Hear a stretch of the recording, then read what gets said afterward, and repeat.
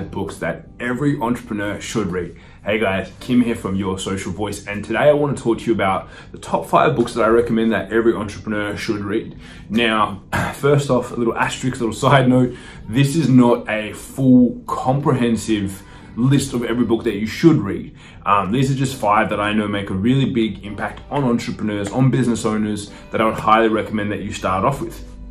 So I'm going to give you some recommendations here on five that I recommend, why I recommend them, um, and then you guys can go about uh, chasing them down and, and, and, going through them, but I also give you a few points on each, just to let you know um, the impact that it's had and the understanding that they've had for me um, by reading them as well. So like I said, these are by no means a full comprehensive list of every single book that I recommend, but these are five that I have on my shelf here every day. As you can see, I've got uh, a lot of books here all the books. Um, and like I said, these are not, this is not a full comprehensive list of them, but this is five that I highly recommend. So first book that I'm going to start with, and it's a nice, light, easy read, luckily, is um, The Entrepreneurial Personality Type by Alex Charfen. So your guide to the most important and misunderstood people among us, this guide. Um, so this is only short, it's only let's see how many how many pages in total. It's only like 60 pages, I think. Yeah, 59 pages exactly. So um, it's a short book. However, if you are a entrepreneur, if you're someone who uh, is a business builder, someone who goes out there wants to make a big impact on the world, this is a book that I highly recommend because this is not a, um, a tactical step-by-step -step to do, but this is a guide to understanding who you are as an entrepreneur the types of things that you uh, you see, feel, hear in everyday life. And I highly, highly recommend getting it. I'm pretty sure he has a, um, uh, a free version that you can get. It's the handbook to achieving momentum and keeping it. So for anyone that doesn't know who Alex is, Alex is a man who teaches and uh, along with his uh, wife and the, their company Charfen, um, really teaches entrepreneurs how to install systems in their business, which I love because we install marketing systems in people's businesses and figure out how to get them scaling, right? How to take away the pressure, the noise, the overwhelm, and really just focus on doing what you were put on this planet to do with your business and how to make it easy on yourself, on your team, on your partner. They also have a great um, uh, podcast called the Momentum Podcast. So this is one that I highly recommend that you pick up and is probably of all the books I'm going to share, um, the cheapest and easiest to guess, get because it's a free plus shipping offer. So this is the first one that I would highly recommend every entrepreneur go and get a copy of is entrepreneurial personality type, number one. Number two, um, this one is a great book. However, I would probably get it on audio just because they, they have done probably some of the best, I would say, the best jobs when it comes to um, an audiobook because there's like different voices for each of the different characters and it's really told in a parable or story format.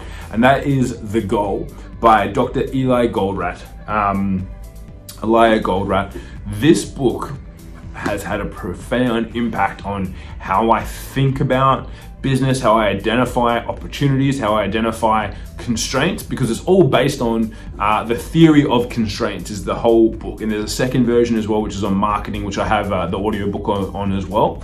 And um, it's basically the goal is a process of ongoing improvement. Just reading off the cover here, the best-selling business novel that introduced the theory of constraints and changed how America does business. Three million copies sold. So this, when you listen to it, it's all about a operating plan. It's all about a plant where they go through on a day-to-day basis. They looking at optimizing and improving because they're potentially going to be um, shut down or scaled up and I won't ruin the story for you because it's an interesting one to listen to. But it's all about identifying constraints within your business and that theory behind it. Now don't get me wrong it is not a cold boring book. Um, it is told in a story in a parable format. So if you're a reader get that, but otherwise they do a phenomenal job when it comes to the audiobook. It's very interesting to listen to. Now, the theory of constraints is, um, and the way that I like to basically distill that down or make it simpler, if you will, is that if you imagine your business as a hose, a garden hose, right? And there's all these um, kinks in it, and your business is that hose. At any one point in time, there is only one kink that is stopping the water from flowing. There's only one kink that's kind of holding back from all the water flowing through in your business. And that is, un, like, if you can think of it like that, that is the theory of constraints, which is going, cool, at each step throughout your business, there's only one thing which is holding back uh, an avalanche of business, an avalanche of cash flow, an avalanche of leads or sales, whatever it might be. And it's all about optimizing that constraint or how we best unkink that to allow the water to flow through. Now, obviously, being that your business is a big garden hose, right? Once you unkink one thing, there will be a new constraint to identify. But by understanding that theory and understanding the process of thinking about that and going, cool, what is the maximum, what they will call in the book, throughput? What is the maximum amount of volume that can go through there? Then you understand how to optimize and scale these things within your business. And it works really, really, really effectively. I cannot uh, recommend that book enough. Like I just love it. It makes such an impact. It has such a um, profound effect on people. So yeah, highly, highly, highly recommend it.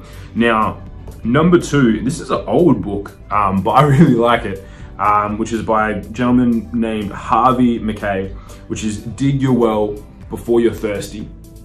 Right, the only networking book you ever need.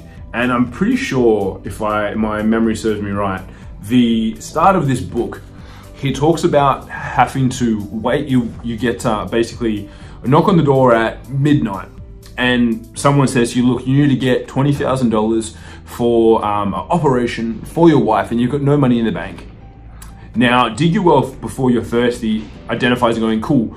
How many people could you call up in your network that you've laid down such goodwill with that you you know you've got so many brownie points with however you want to call it that you would have you know you'd make one call and someone would give you a hundred grand you, you wouldn't even have to call a second person so if you think about that it's all about providing massive amounts of value and look, you may never need it. You may never need to get a return. You may never need to call on that value that you've provided in the marketplace. But if you do, you've dug your well well and truly before you need it, if that makes sense.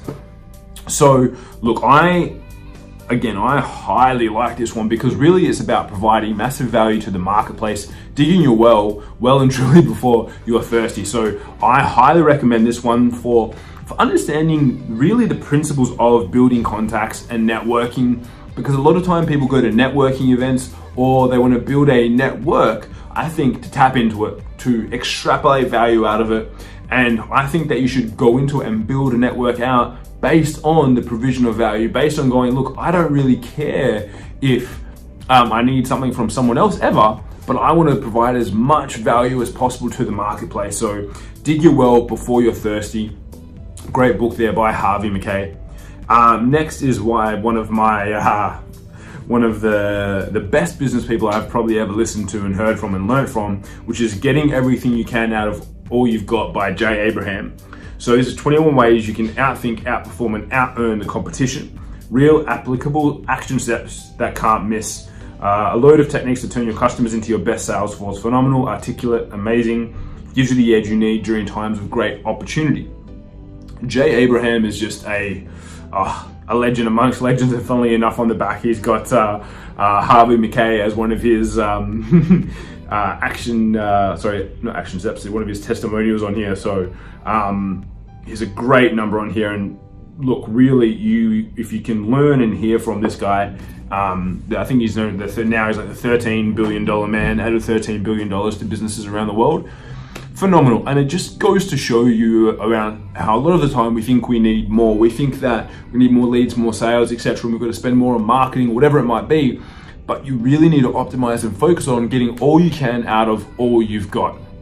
So I really, really, really um, recommend this book, and it's it's uh, it's a great read for anyone that's a CEO, entrepreneur, just to really understand uh, people, understand business, understand the opportunities that lie within you. And if you stack all these books together, you're uh, you're going to be a uh, a gun, that's for sure.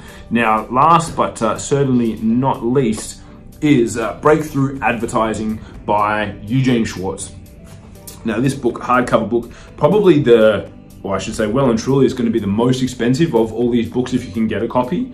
Um, but this is really the handbook on advertising, the handbook on marketing, the handbook on writing ad copy, and really understanding business and business structures and where businesses are at. Now, again, I will be honest, I haven't read every single part of this book, but I know that when I have a need, when I have a desire, when I need to figure something out, it's my it's my handbook, it's my guide. Um, as you can see, I've got you know pages and things um, tabbed and tagged there so that I can always refer to them. And anytime I do a presentation um, on anything, I read through that, I, try and understand and delve into that so that I can really figure out um, what's going on and how to overcome it. And look, it's um, again, it's probably maybe four or five times the price of any of those other books. Um, a lot times the price of uh, of Alex Charfen's because you can get a, a, free copy. I think you just pay shipping, but wow, the, that book is amazing. And look, every single one of those is chosen for a particular reason because if you stack them all together, that is like these are some of the best books, I would say, that you can read as a business owner. These five, um, look, and as I said, there's, I have tons more to choose from, but these are five quintessential ones I think to start off with. We'll probably do another video on like the five best marketing books, and this one will probably come back into it uh, for sure, along with a few others on the shelf. But guys, I really hope that you've been able to take that away. Please go out and get yourself a copy of these books. Um, I highly recommend them. We'll probably share a link to um, Alex Charfen's just so it's easy for you guys to find. But I highly, highly, highly recommend it. And if you like this video, please give me a little thumbs up so that you're enjoying this content. Drop a comment down below and let me know what else, if there's anything else you would like us to review, to feedback to give you guys content-wise. And as always, subscribe so that you get these videos first before anyone else. And uh, we may have a few sneaky things coming up for our subscribers, so make sure you subscribe right? Hint, hint. Guys, until next time, I'm Kim Barrett. Y'all have been awesome. Adios.